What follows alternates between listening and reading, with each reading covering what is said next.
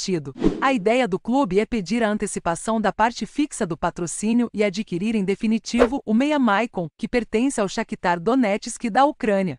Recebi a informação de que o novo patrocinador do Corinthians vai pagar 35 milhões de reais, podendo chegar a 45 milhões de reais. O dinheiro antecipado será usado para comprar o volante Maicon, informou o jornalista Carlos Cereto. Vale destacar que alguns nomes já estão sendo especulados no Alvinegro.